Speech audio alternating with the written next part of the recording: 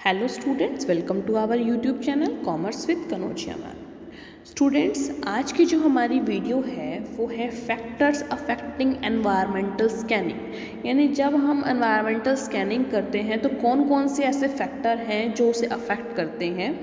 तो देखिए video start करने से पहले मैं आपसे रिक्वेस्ट करूँगी जिस जिसने चैनल को सब्सक्राइब नहीं किया है, वो पहले चैनल को सब्सक्राइब कर दीजिए ताकि आने वाली जो नोटिफिकेशन है हमारी वीडियोस की, वो आपको टाइम टू टाइम मिलती रहे। तो चलिए student without getting late let's today's topic factor affecting environmental scanning कि कौन कौन से ऐसे फैक्टर हैं जो एनवायरमेंटल स्कैनिंग को अफेक्ट कर रहे हैं? फ़र्स्ट देखिए पर्सनल एबिलिटी ऑफ़ स्ट्रेटेजिस्ट यानी कि जो स्ट्रेटेजी फॉर्मुलेशन कर रहा है, जैसे कि अपन ने पिछले वीडियो में मेथड्स पढ़े थे फोरकास्टिंग के, उसमें था एक्सपर्ट ओपिनियन मेथड ठीक है, इस तरीके से। तो अगर उन एक्सपर्ट्स की ओपिनियन यानी खुद की पर्सनल स्किल्स ही स्ट्रेटजी फॉर्मुलेशन के लिए सही नहीं होगी तो वो क्या करेगी? एनवायरमेंटल स्कैनिंग को अफेक्ट करेगी और वो उनकी खुद की पर्सनल एबिलिटी पर्सनल स्किल्स अगर अच्छी नहीं हुई तो उसी रिगार्डिंग जो स्ट्रेटजीज बनेंगी, वो भी अच्छी नहीं बनेंगी, ठीक है?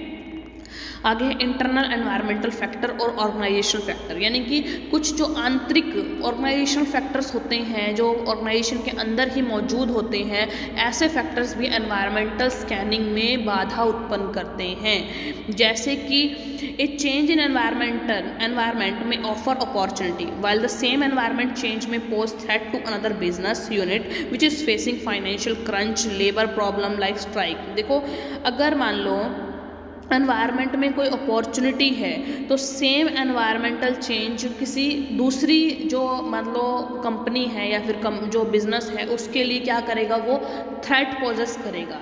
किस वजह से?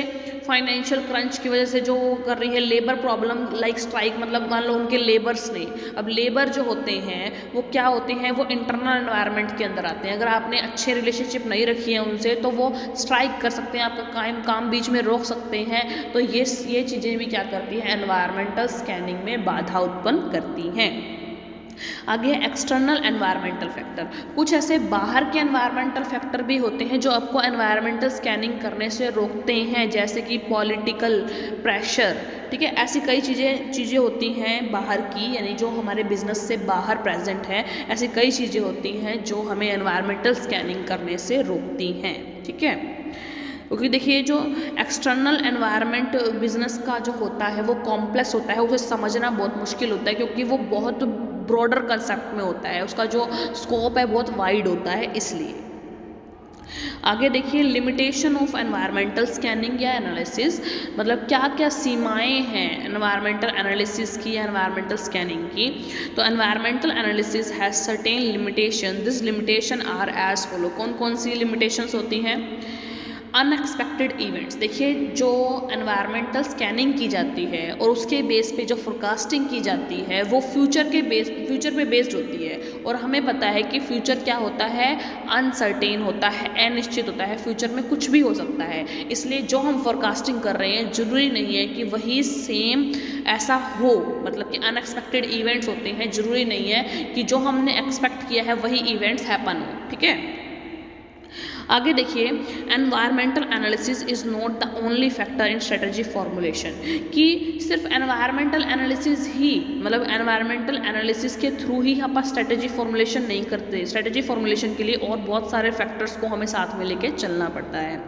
इनएक्यूरेट डाटा देखिए, आप एनवायरमेंटल स्कैनिंग जो करेंगे, उससे जो डाटा मिलेगा ना, वो इनएक्यूरेट होता है। ज़रूरी नहीं है, क्योंकि आप लेते हैं पब्लिश जो डॉक्यूमेंट्स होते हैं, उनसे डाटा अवेलेबल कराते हैं। हाँ जी जो पब्लिश डॉक्यूमेंट है या पब्लिश जो भी इंफॉर्मेशन के सोर्सेज हैं, जो वहाँ से हम डाटा क्या करते हैं मॉनिटर करते हैं और वहाँ से डाटा की सर्च और स्कैनिंग करते हैं तो ज़रूरी नहीं है कि वो डाटा प्रॉपर तरीके से सही डाटा हो। इसलिए जो डाटा है, वो इनकरेक्ट भी हो सकता है और अगर इनकरेक्ट डाटा को यूज़ करके पॉलिसीज़ बनाई जाएगी या स्ट्रेटजीज बनाई जाएगी तो वो गलत साबित भी हो सकती है। ठीक है? आगे देखिए too much dependence on information collected through environmental analysis देखिए, अगर आप बहुत ज़्यादा डिपेंड हो जाएँगे कि आप एनवायरमेंटल एनालिसिस के थ्रू ही जो डाटा उठाओगे, उसी के बेस पे स्ट्रेटजी बनाओगे और अपने खुद की स्किल्स नहीं यूज़ करोगे और सबसे ज़्यादा डिपेंड डिपेंडेंट हो जाओगे आप एनवायरमेंटल एनालिसिस के डाटा पर तो जो है जो स्ट्रेटजी फॉर्मुलेशन होगी वहाँ से वो ज़रूरी नहीं है, वो एक्यूरेट हो और वो वर्क करे, ठीक है? तो ये हो गई कुछ लिमिटेशंस आगे है रिस्पॉन्सिबिलिटी फॉर एनवायरमेंटल एनालिसिस कि अब एनवायरमेंटल एनालिसिस के रिगार्डिंग रिस्पॉन्सिबिलिटी क्या बनती है? Environmental analysis is the work of top level official किसके थ्रू किया जाता है ये? टॉप लेवल ऑफिशियल्स के through the responsibility of environmental analysis can not be assign to lower level officials मतलब छोटे लेवल के ऑफिशियल्स ऑफिसर्स को हम क्या नहीं दे सकते? ये रिस्पॉन्सिबिलिटी नहीं दे सकते कि, कि वो एनवायरमेंटल स्कैनिंग करें। Some organisation maintain separate department of management information system कई जो और बड़े बड़े ऑर्गेनाइजेशन होते हैं, उसमें एम आई एस सिस्टम होता है management information system this department provide information to the manager as and when required और ये डिपार्टमेंट क्या करता है? इन्फॉर्मेशन प्रोवाइड करता है मैनेजर्स को जब भी उनको रिक्वायरमेंट होती है. ये मैनेजमेंट आपने मैनेजमेंट अकाउंटिंग पढ़ा होगा, उसके अंदर एम आई एस सिस्टम होता है।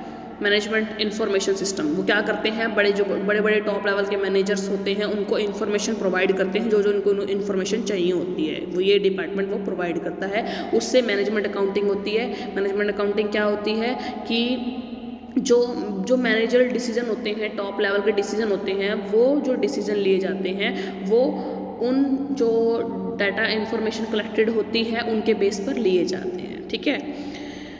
तो ये रिस्पॉन्सिबिलिटी किसकी हुई? भाई देखो, हर हर बड़े ऑर्गेनाइजेशन में एम सिस्टम होगा जो इन्फॉर्मेशन प्रोवाइड करेगा और जो नॉर्मल उसमें होंगे, क्या होंगे, वो जो टॉप ऑफिशियल्स होंगे, वो खुद उसके लिए रिस्पॉन्सिबल होंगे कि वो जो क्लिपिंग के थ्रू क्लिपिंग सर्विस के थ्रू क्या कर, क्या क्या करे डाटा कलेक्ट करे और उससे क्या करे इन्वायरमेंटल स्कैनिंग करे। The work of environmental analysis can also भी assigned assigned to the committee consisting of top official of various department like department of finance purchase marketing research and development देखियो जो environmental analysis का work है, वो एक top official की committee के through भी मतलब उनको भी असाइन किया जा सकता है, जो वेरियस डिपार्टमेंट की होती है finance purchase marketing research and development sector उनके थ्रू भी इंफॉर्मेशन निकलवाई जा सकती है एनवायरमेंटल एनालिसिस के regarding The best alternative is to have a separate department for environmental analysis to be headed by a competent official. तो best alternative ये रहेगा एक separate department बना लिया जाए environmental analysis का जो एक competent official उसको head करे ठीक है तो यानी कि मतलब बेस्ट इनमें से ऑप्शन ये रहेगा कि एक एक अलग से डिपार्टमेंट बनाया जाए किस चीज़ का एनवायरमेंटल एनालिसिस का और वहाँ से हमें सारी इन्फॉर्मेशन मिले ठीक है? तो ये हो गई रिस्पॉन्सिबिलिटी फॉर एनवायरमेंटल एनालिसिस कि हमें एक अच्छे से इस, अगर अच्छे एनवायरमेंटल एनालिसिस करनी है और अच्छी स्ट्रेटजी फॉर्मुलेशन करनी है तो हमें एक सेपरेट एनवायरमेंटल एनालिसिस का एक डिपार्टमेंट बनाना पड़ेगा ताकि वहाँ से जो इन्फॉर्मेशन कलेक्ट होगी, उसके बेस पर हम स्ट्रेटजी फॉर्मुलेशन करेंगे। ठीक है? तो ये हमारा टॉपिक इधर इस वीडियो में हम इतना कवर करेंगे, जिसके अंदर हमने सबसे पहले पढ़ा कि कौन कौन से ऐसे फैक्टर हैं जो एनवायरमेंटल स्कैनिंग के बीच में बाधा उत्पन्न करते हैं या अफेक्ट करते हैं, उन्हें प्रभावित करते हैं। तो कुछ एक फैक्टर्स हमने यहाँ पढ़े। फिर उसके बाद स्टूडेंट्स हमने पढ़ी लिमिटेशंस ऑफ़ एनवायरमेंटल स्कैनिंग की। क्या क्या बाधाएँ या फिर क्या क्या सीमाएँ हैं एनवायरमेंटल स्कैनिंग की, कि ये आगे फ्यूचर अनएक्सपेक्टेड होता है तो फ्यूचर में ये ज़रूरी नहीं है कि वो सेम जो हमने एक्सपेक्ट किया है वही हो। और स्ट्रेटजी फॉर्मुलेशन अगर आपने इसके बेस पे करी है तो ज़रूर, क्योंकि क्योंकि इसके लिए और फैक्टर भी ज़रूरी होते हैं। अगर सिर्फ़ इसी के बेस पे करोगे तो वो सही नहीं होगी। आगे है कि डाटा इनएक्यूरेट हो सकता है, क्योंकि हमने पब्लिश डाटा उठाया है और ज़्यादा से ज़्यादा डिपेंडेंट नहीं होना चाहिए हमें इस डाटा के ऊपर एनवायरमेंटल एनालिसिस के ऊपर स्ट्रेटजी फॉर्मुलेशन के लिए। ठीक है? और फिर हमने पढ़ा कि हमारी एनवायरमेंटल एनालिसिस के लिए क्या रिस्पॉन्सिबिलिटी रहती है। रिस्पॉन्सिबिलिटी ये रहेगी कि हमें एक अलग से डिपार्टमेंट सेट आउट कर देना चाहिए इसके लिए ताकि सही से इन्फॉर्मेशन मिले और अच्छे से अच्छी स्ट्रेटजी जो है फॉर्मुलेट की जाए। तो आई होप स्टूडेंट आपको आज की वीडियो अच्छी लगी होगी। आपका टॉपिक क्लियर हुआ होगा। अगर स्टूडेंट आपको वीडियो अच्छी लगी हो, आपका टॉपिक क्लियर हुआ हो तो ज़्यादा से ज़्यादा मेरी वीडियो को लाइक कीजिए शेयर कीजिए कमेंट्स कीजिए और ज़्यादा से ज़्यादा मेरे चैनल को सब्सक्राइब कीजिए। Commerce with Kanojia thank you students